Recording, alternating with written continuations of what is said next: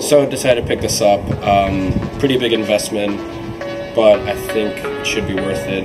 And I'm gonna see how quickly I can spend ten thousand dollars. The issue is I don't actually want anything.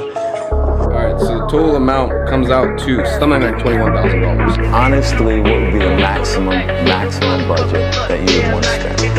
Thirty mil. It's quite a high statistical probability that I end up a billionaire.